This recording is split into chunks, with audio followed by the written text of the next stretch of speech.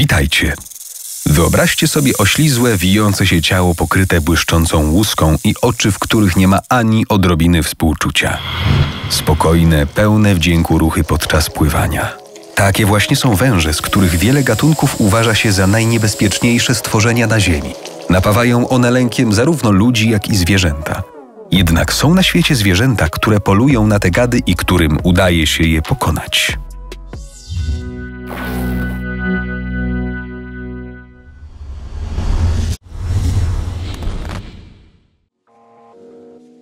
Najodważniejszym i najbardziej znanym na świecie łowcą węży jest malutkie i dzielne stworzenie, które zajada się przede wszystkim kobrami.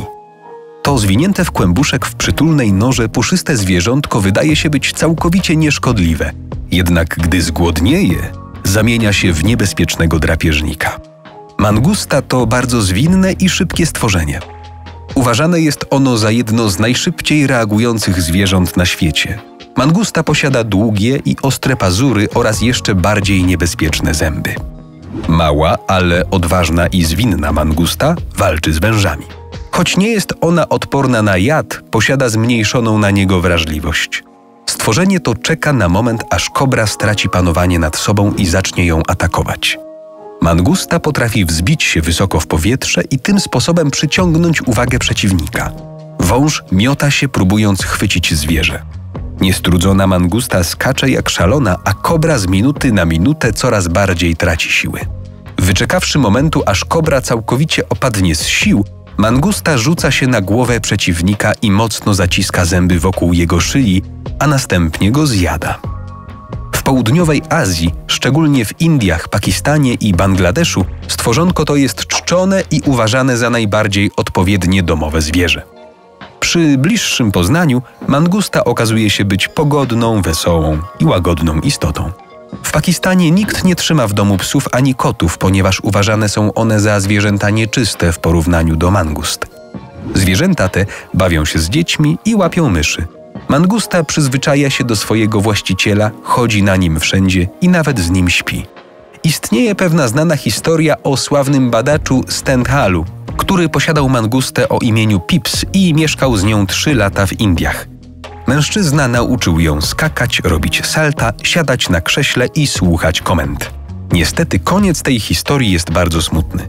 Gdy naukowiec wyruszył w kolejną podróż i nie zabrał ze sobą swojego pupila, ten, nie mogąc znieść rozłąki ze swoim właścicielem, zagłodził się na śmierć.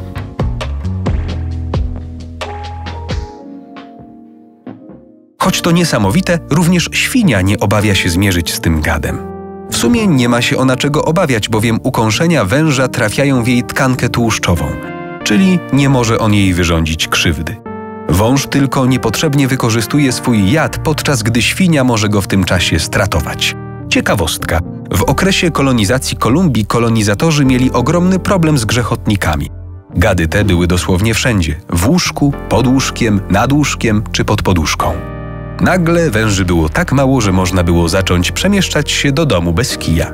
Kolonizatorzy nie mogli zrozumieć, czemu one tak nagle zniknęły, dopóki pewnego dnia nie ujrzeli, jak świnia pochłania tego gada. Jeż posiada kolce, które chronią go przed ukąszeniem węża. Choć stworzenia te nie są tak zwinne i szybkie jak mangusty, to nie obawiają się w żaden sposób tych gadów. Gdy jeż natknie się na węża, najpierw obwąchuje go od głowy aż po czubek ogona, nie zwracając uwagi na to, że jest on gryziony przez niego w pysk. To kolczaste stworzenie oblizuje sobie tylko językiem powstałe po ukąszeniu ranki. Czekając na odpowiedni moment, jeż szybkim ruchem wgryza się w głowę węża, miażdży ją i zaczyna ją jeść, nie pomijając jadowitych zębów ani gruczołów z jadem. Jeż jest odporny na jego jad, a więc jego ukąszenie w żaden sposób nie może mu zaszkodzić. Śmiertelna dawka jadu węża dla jeża jest równa czterdziestokrotności dawki śmiertelnej dla świnki morskiej. Wiele gatunków ptaków poluje na węże, w tym również na te jadowite. Gady te tępią między innymi gadożery, jastrzębie, gypsy, gypiny, bociany i nawet wrony. Największe zagrożenie dla węży stanowi żyjący w Afryce ptak sekretarz. Na głowie ma on ozdobny czubek, który upodabnia go trochę do pisarza trzymającego za uchem pióro. Właśnie z tego powodu został on nazwany sekretarzem. O żarłoczności tego ptaka świadczy choćby to, że z woli jednego osobnika wyciągnięto pewnego razu trzy węże, 11 jaszczurek, 21 malutkich żółwi, nie mówiąc już o resztkach owadów. Ptak ten obrał szczególny sposób walki z wężami. Pewien uczony, który obserwował te osobniki, opowiedział, że jeśli sekretarz dogoni węża, który zacznie się bronić, syczy i rozdyma szyję, Ptak rozwija jedno skrzydło, zakrywa nim nogi niczym tarczą, a następnie uderza nim atakującego go węża i skacze do przodu i do tyłu, wykonując bardzo dziwne ruchy. Ptak jednym skrzydłem odpiera ukąszenia węża, ogłusza go, czasami również podrzuca dziobem przeciwnika do góry, a następnie przegryza mu czaszkę i połyka ją wcześniej, rozrywając go na strzępy. Sekretarz także nie wyrzuca jadowitych zębów i gruczołów węża. Prawdopodobnie nie jest on podatny na działanie jadu. Należy jeszcze dodać, że ptaki te w równym stopniu polują na jadowite węże, co i na pozostałe gady. Afryka to kontynent zamieszkiwany przez duże, agresywne drapieżniki, które słyną z okrucieństwa i są nieustraszone. Rattel to wytrwałe, bezwzględne i żarłoczne zwierzę, które nie boi się atakować zarówno niebezpiecznych afrykańskich węży, jak i nawet lampartów. Tego dzikiego drapieżnika powinno nazywać się żmijojadem, bowiem podstawą jego diety są właśnie węże, które stanowią dla tego zwierzęcia łatwy łup. Jad węży z rodziny zdradnicowatych nie jest dla ratela niebezpieczny, ponieważ po pierwsze zabija on swoją ofiarę w okamgnieniu, a po drugie ukąszenie powoduje u niego tylko chwilowe niedomaganie. Zdarza się, że ratel zaczyna jeść jeszcze żywą kobrę, która go ukąsi. Wówczas zwierzę źle się czuje, wije się w konwulsjach i to wszystko.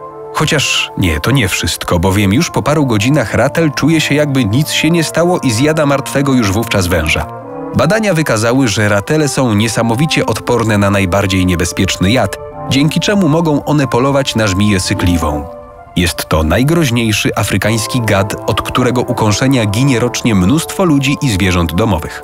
Z kolei miód to dla ratela przysmak, którego udaje mu się skosztować bardzo rzadko.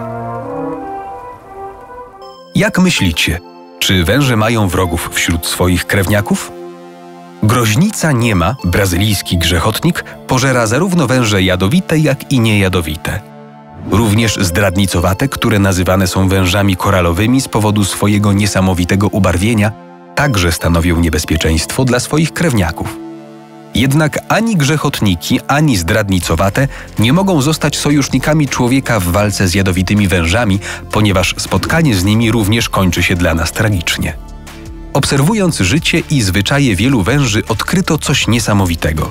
Pewien amerykański wąż, którego tubylcy nazywają musurana, zabija swoich jadowitych krewniaków i ich pożera. Ten nocny gad, który mierzy do 2,5 metra długości, zamieszkuje brzegi rzek, potoków i okolice bagien. Generalnie nie jest on niebezpieczny, ponieważ nie posiada jadu. Ponadto jest on zapalonym wrogiem różnych jadowitych węży, których jest w Brazylii bardzo dużo i od których ukąszenia umiera mnóstwo ludzi. Jeśli dojdzie do walki Mussurana z grzechotnikami, oba węże splatają się ze sobą, po czym grzechotnik gryzie swojego przeciwnika. Co ciekawe, niebezpieczny jad, który szybko zabija ssaki, nie działa na Mussurana. Gad ten jest odporny na ukąszenia swojego wroga i nie zwraca na nie najmniejszej uwagi. Podczas gdy grzechotnik próbuje go bezskutecznie kąsać, Mussurana wbija zęby w jego plecy i skubiąc ciało swojego wroga za pomocą szybkich ruchów języka, odrywa szczękami kawałki jego ciała, kierując się w stronę jego szyi.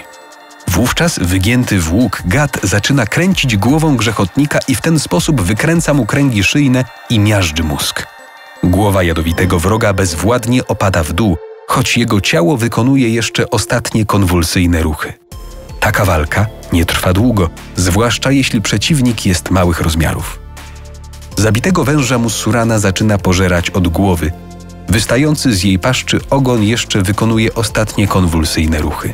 Gad ten pożera nawet krewniaków, którzy są od niego nawet półtora raza więksi.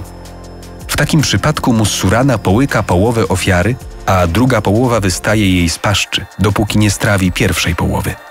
Na niesamowite preferencje żywieniowe musurany zwrócili uwagę badacze, którzy wpadli na pomysł rozmnożenia tego gatunku i umieszczenia go na plantacjach kawowych, na których jest całe mnóstwo innych węży gryzących pracujących tam na boso ludzi. Niestety, póki co próby hodowli nie powiodły się. Nie udało się wyhodować osobników, które osiągnęłyby dojrzałość, bowiem nie znaleziono jeszcze pokarmu, które zechciałyby one spożywać w niewoli. Przetrzymywane węże nie chciały jeść niczego, co im dawano i po pewnym czasie umierały z głodu.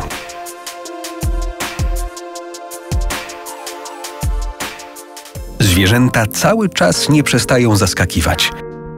To, co dla nas, dla ludzi jest niesamowite, dla nich jest chlebem powszednim. Jeśli spodobało Ci się wideo, to zostaw lajka. Dziękujemy za obejrzenie materiału. Do usłyszenia.